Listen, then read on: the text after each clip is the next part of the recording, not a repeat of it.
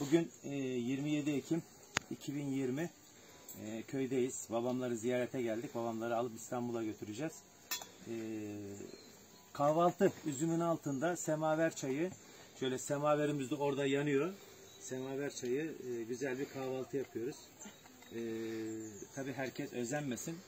Yani dediğim gibi çay semaver çayı kahvaltı böyle kırda evin önünde bahçemizde.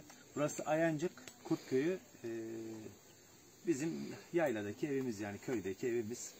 E, ortam çok güzel, havalar çok güzel. Yani 27 Ekim olmasına rağmen havalar sanki yaz havası gibi.